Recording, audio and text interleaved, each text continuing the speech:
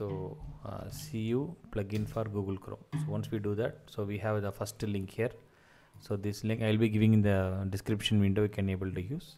So first you can download this uh, as a zip file. So once it is downloaded so open it and extract it. So extract i am extracting it to the home folder. So for timing i'm extracting here. The home folder it is extracted then close it then close it. Uh, cd copper uh, once you go here open the terminal cd copper there. Then you can see that uh, we have install.sh so run this install.sh if it is windows operating system you have to run install.bat if it is linux you have to run uh, dot slash install.sh once you do that then it will be installed.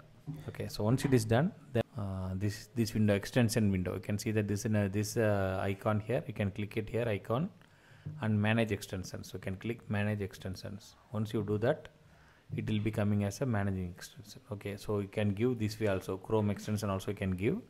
So now there is on mode called as developer mode. Always enable the developer mode. So by default in your case it might be like this.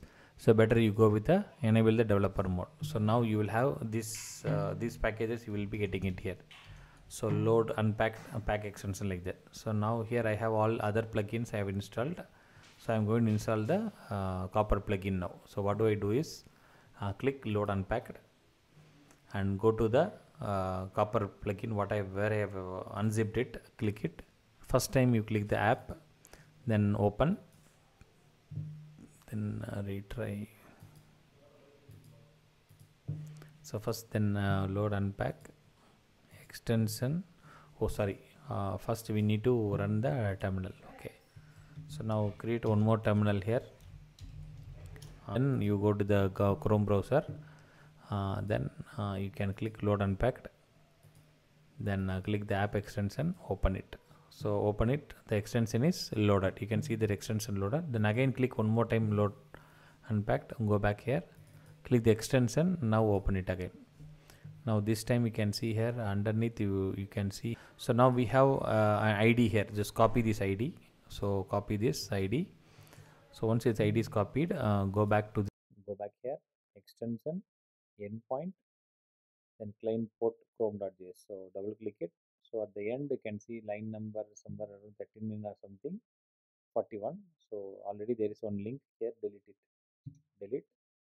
And uh, right click and paste. Already we have copied that so paste it here. So you can see that this is what been pasted. So save it. So once it is saved it then you come back here.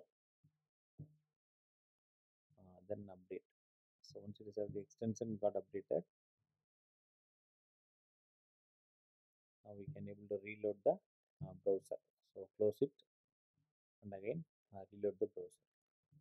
Okay. So you can see somewhere here copper uh, for cr that is copper for chrome. So this is a plugin. So sometimes you can find a plugin at the end of this also. So go through the entire uh, set of extensions. And then uh, you just click it so once it is clicked you can able to get the screen like this. So what you can do is uh, i am just maximizing it.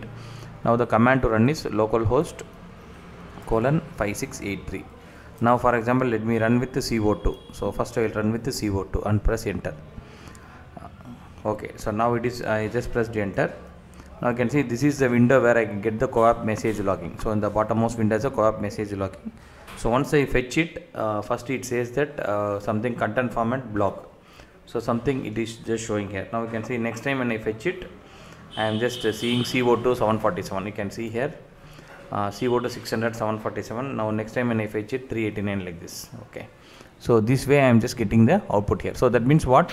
Uh, the response what i get from the server is uh, co2 carbon monoxide carbon dioxide uh, 12 and carbon dioxide 571 every time when i fetch the particular data